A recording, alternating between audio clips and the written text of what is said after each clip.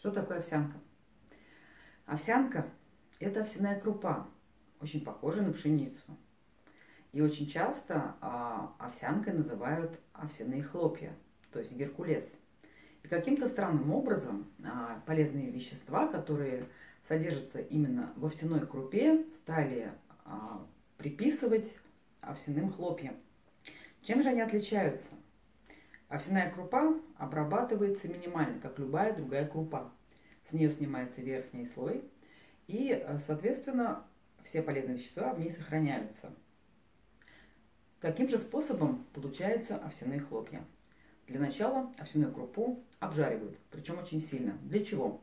Чтобы крупа не прогоркала после обработки. Затем отшелушивается верхний слой защитный, и а, таким образом удаляется большая часть витаминов и клетчатка. После этого ее расплющивают. Так вот вопрос, с чего вдруг а, Геркулесу стали приписывать свойства овсянки и говорить о том, что эта а, субстанция очень полезна.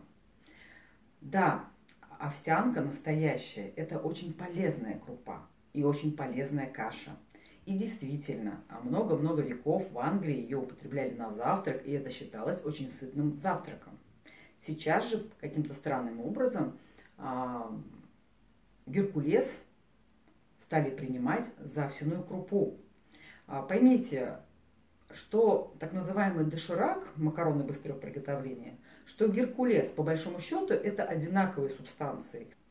С той небольшой разницей, что в овсяных хлопьях – немного сохранилось веществ, полезных для нашего организма. Но по факту это все те же пустые калории. Поэтому давайте не будем путать настоящую овсянку с геркулесом или так называемыми овсяными хлопьями. А я могу сказать вам, откуда появилась эта любовь к геркулесу. А в начале 90-х годов так называемые журналы мод в то время начали публиковать э, рецепты красоты, которые якобы делали Афродиту такой привлекательной. И маски, и а, каши, которые описывались в этих а, рецептах, обязательно состояли из геркулеса. То есть говорилось о том, что маски сделаны из геркулеса, омолотят вашу кожу, а также каша из геркулеса, то есть замоченного в холодной воде геркулеса, улучшит перистальтику кишечника и улучшит цвет лица за счет того, что ваш кишечник освободится.